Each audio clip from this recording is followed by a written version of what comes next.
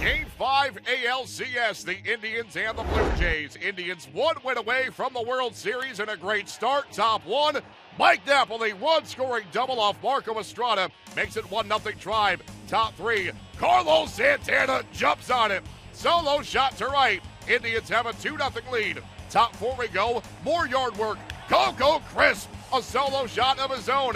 Indians up 3 0 for Ryan Merritt. He has one big league star under his belt looked like a seasoned pro. He turns in four and a third scoreless. Bottom six, Andrew Miller. First pitch of the day gets Josh Donaldson on the inning-ending double play. Call confirmed upon replay review. Miller goes two and two thirds. He hands it off to Cody Allen in the bottom of the ninth. Now the 2-2.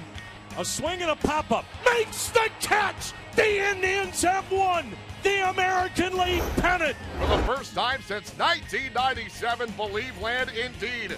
The Indians knock out the Blue Jays in five games following a 3 0 win. It is pennant number six for the Indians in franchise history. They will have home field for the Fall Classic as they seek their first World Series title since 1948.